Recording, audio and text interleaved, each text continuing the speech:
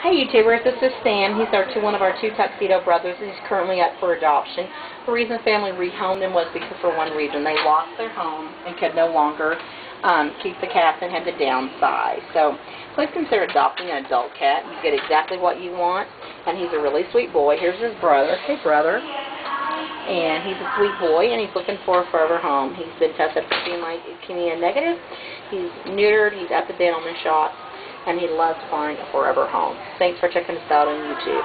Also, if you need a low-cost family news, please check out spayoklahoma.org. They do cats and dogs, and also Street Cats Tulsa will try to pan you. Yes, and he kind of has a little sweet voice. He likes to talk. So, thank you for checking us out on YouTube. And as always, please stay near your pets.